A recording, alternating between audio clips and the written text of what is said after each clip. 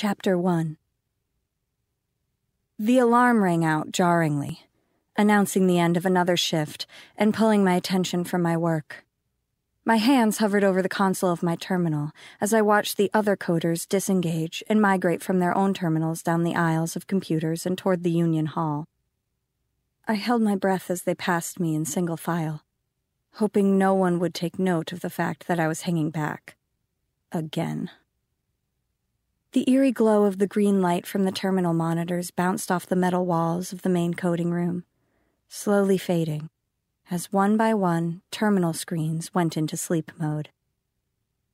The other coders filed out into the hallway, talking about what they thought was on the menu for lunch tomorrow or how many side jobs they were hoping to pick up before their next shift. Before long, only one terminal remained active mine. You coming? My best friend Viv's voice interrupted my thoughts.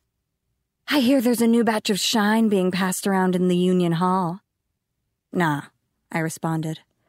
Hydro's on the fritz again. I'm gonna log a few more ticks in my shift and see if I can iron out the kinks.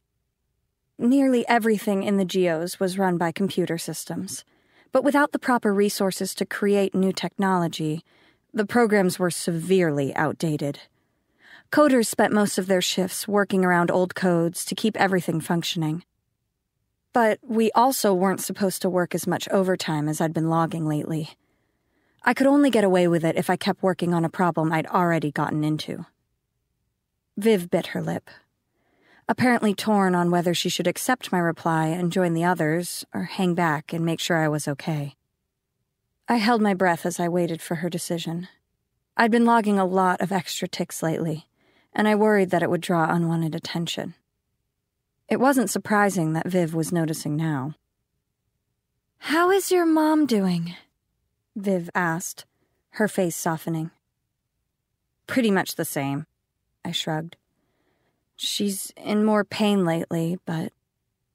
I let the rest of the sentence hang in the air unfinished. Everyone knew the cough was fatal, though some lived longer than others. Still, more work meant more vouchers. Meal vouchers, usually. But you could get something more tradable, too, if you were lucky. Viv moved forward, squeezing my shoulder reassuringly. Yeah, well, tell her I say hi, okay? Yeah, I will. Catch you later, Viv. Finally, Viv turned away. She was the last coder to disappear through the stainless steel double doors. The morning shift wouldn't start for another eight hours, and swing shift coders usually worked from their homes. I was alone. I turned toward my terminal, steadying my focus as I began coding again. Normally, repairing the code to track waste from the hydroponics would have been no big deal, but the reminder of what waited for me at home had thrown me off. My mother's health had been deteriorating more rapidly. The cough was common here in the damp tunnels of the geos, but without access to a viable cure, it was fatal more often than not. It wasn't that the treatment was expensive or rare either.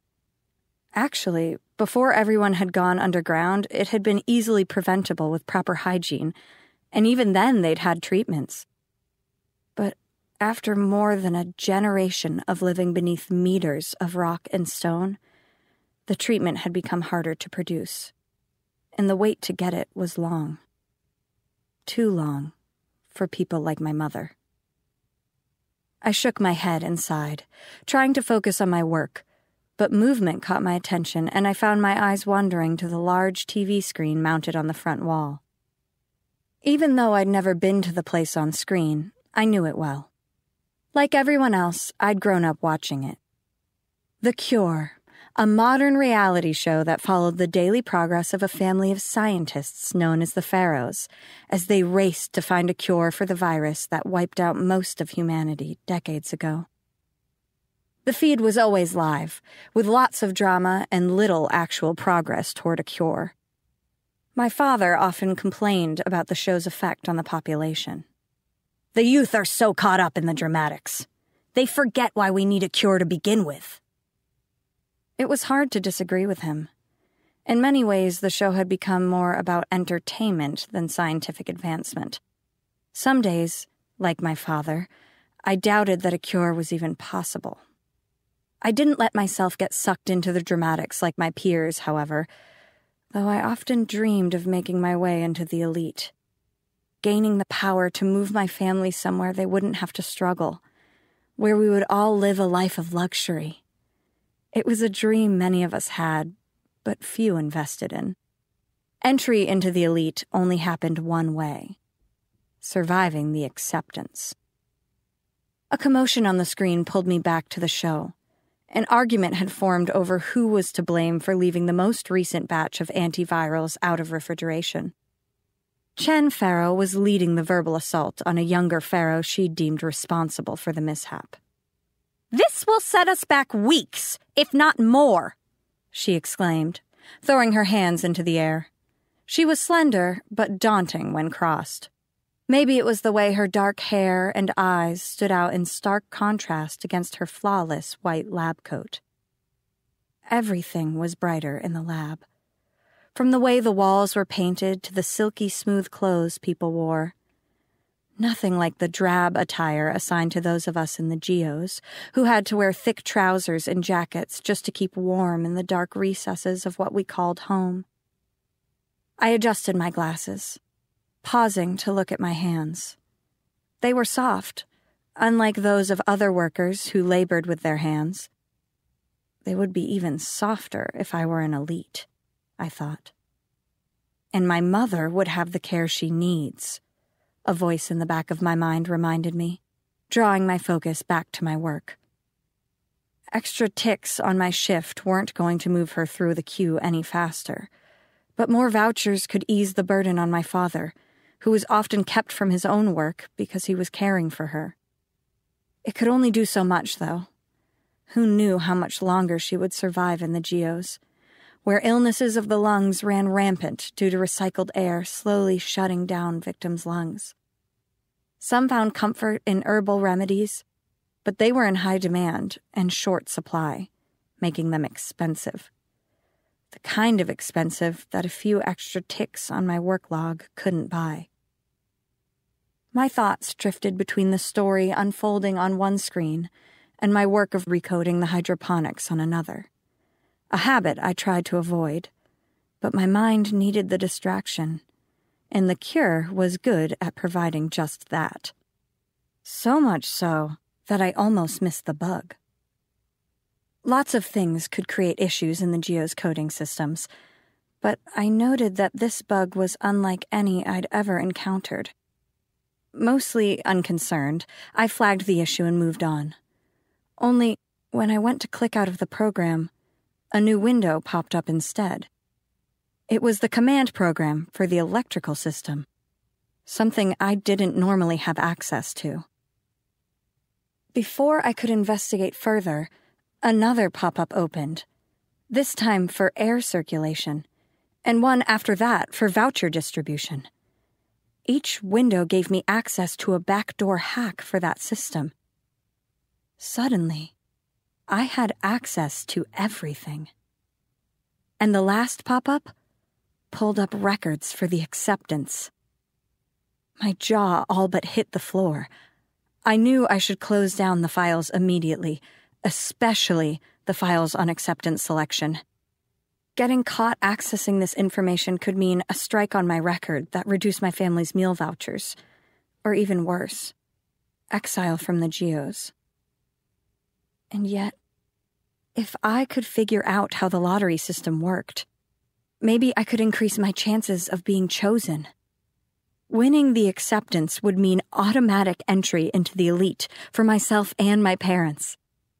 I looked over my shoulder once more to be sure that I was alone before scrolling through the file. My eyes widened as I realized I could alter the data in my favor. Amara, open file acceptance history, I said. Of course, Coder 354, the AI chimed back in an artificially friendly voice. It was supposed to make working in the geos more pleasant for coders after all, they say that good moods are contagious. If your coworker always spoke to you in a chipper voice, how could you complain? Amara never gossiped, never argued, never criticized your work. She might point out a mistake here and there, but that was just good quality control. Images flashed on the screen of previous contestants, people who had been chosen for the acceptance. After being chosen, it was a matter of survival. If they survived the virus and the possibility of genetic mutations, they would be granted elite status, and maybe even welcomed into the Farrow family. One by one, the faces of those who'd come before me moved across the screen along with their public profiles names, occupations, and status. Their names and occupations varied, but their current status was always the same trial failure, subject deceased. My stomach sank as the words repeated over and over again across the files. No one in my lifetime had completed the trials. I tried not to let the weight of that realization get to me. Surely there had been survivors. Others had found their way into the elite and been welcomed into the Farrow family. So why was there no standing record of them? I'd looked further into the files to strengthen my resolve. It was having the opposite effect. I took in a deep breath before deciding what to do next. Amara, pull up images of the above. My pleasure, Coder 354, she chimed.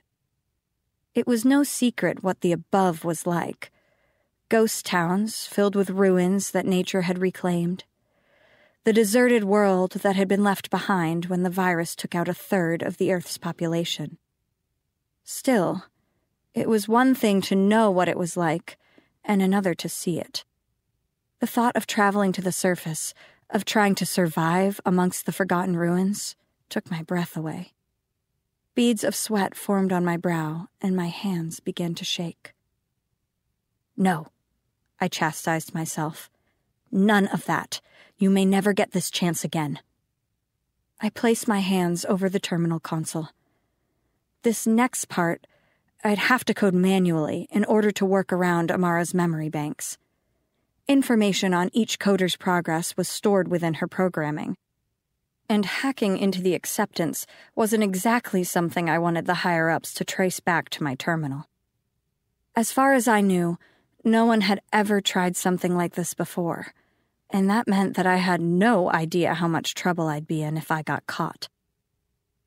Either that, or there was simply no trace of anyone who had made similar attempts. The thought made me shiver.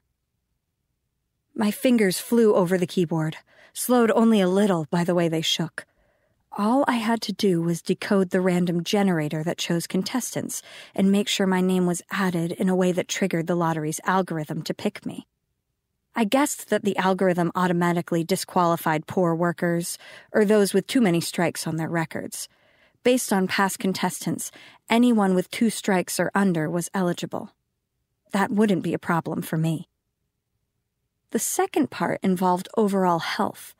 Each contestant had a file under their name with a spreadsheet of how many trips they'd made to the med hall. Checkups for things like birth control and minor injuries weren't picked up by the algorithm, I noticed. That seemed logical. Sending someone in poor health to the above would be an execution, not an opportunity. But basic checkups didn't indicate ill health. But then my brow furrowed as I discovered an encrypted file linked to each contestant's medical record. The third and final requirement. I double and triple checked my work, each time with the same result. The trials were rigged. It wasn't random at all.